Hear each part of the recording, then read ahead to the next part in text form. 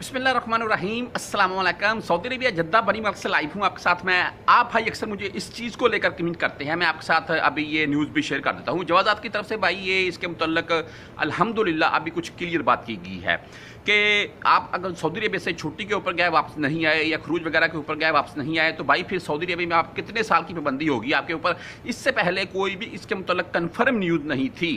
آپ بھائی اکثر پوچھتے تھے کہ بھائی میں چھٹی کے اوپر گیا ہوا تھا تو میں ابھی واپس نہیں آ سکا دوبارہ، تو میں ابھی کتنے سال کی میرے اوپر پابندی ہے یا میں خروج کے اوپر گیا ہوا تھا یا مجھ کو یہاں سے پکڑ کر بھیجا تھا، تو کتنے سال کی پابندی ہے میرے اوپر؟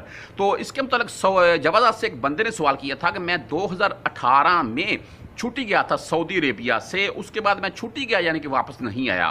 تو اپنے ذہن میں یہ بات رکھیے گا کہ چھٹی گیا واپس نہیں آیا۔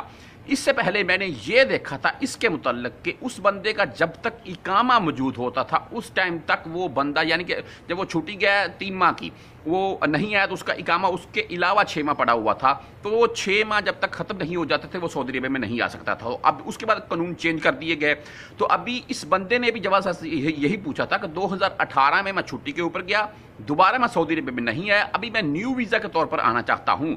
تو میرے اوپر کتنے سال کی پابندی ہے یا میں ابھی آ سکتا ہوں؟ تو اس کے اوپر جوازات نے اس کو یہ بولا ہے کہ آپ کے اوپر تین سال کی پابندی ہے۔ وہ بندہ جو کوئی بھی یعنی کہ خروج کے طور پر گیا ہوا، یہاں سے پکڑائی کے طور پر، یا وہ چھٹی کے اوپر گیا ہوا، سعودی میں واپس نہیں آ سکتا ابھی اس کے اوپر تین سال کی پابندی چل رہی ہے۔ ہاں کچھ ایسے کیس ہوتے ہیں جن کے اوپر بھائی تاحیات کے لیے بھی آپ کو بین کر دیا جاتا ہے اور کچھ ایسے کیس ہوتے ہیں جن کے اوپر آپ کو بھائی پانچ سال کے لیے بین کیا جاتا ہے۔